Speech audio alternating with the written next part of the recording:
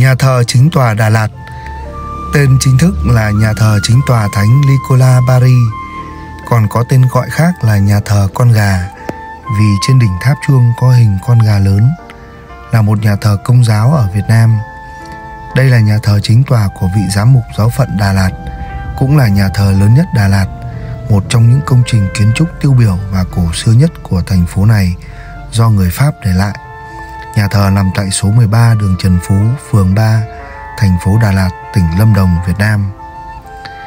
Lịch sử nhà thờ chính tòa Đà Lạt gắn liền với lịch sử hình thành và phát triển của thành phố Đà Lạt, cùng với bác sĩ Alexander Yiếc Xanh khám phá ra Đà Lạt.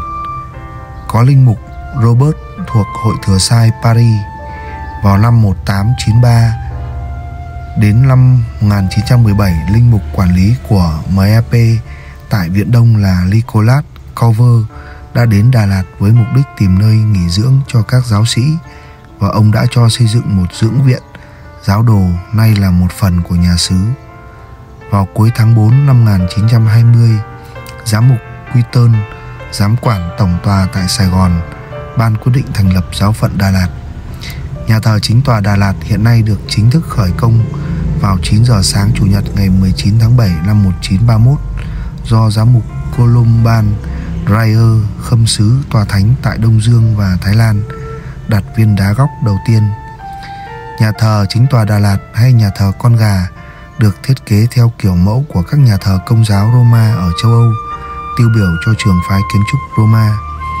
Mặt bằng nhà thờ theo hình chữ thập giống thánh giá có chiều dài 65m, rộng 14m, tháp chuông cao 47m.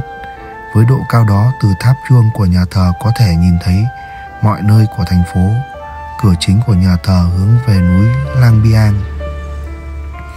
Nhà thờ chính tòa Đà Lạt nằm trên một ngọn đồi cao từ phía thành phố đi lên, men theo những hàng thông con con đường khúc khuỷu quanh co, hòa với không khí trong lành xe xe lạnh và ánh nắng tuyệt vời của Đà Lạt tạo nên cảm giác như lên thiên đường. Ở sân chính tòa, nhà thờ Đà Lạt có thể ngắm nhìn toàn cảnh thành phố.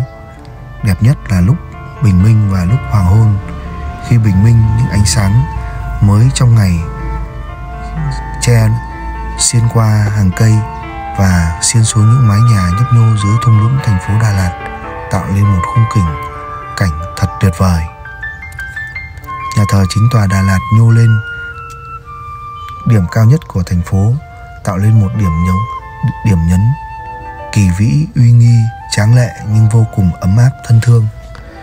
Bạn hãy đến và chiêm ngắm nhà thờ chính tòa Đà Lạt nhé.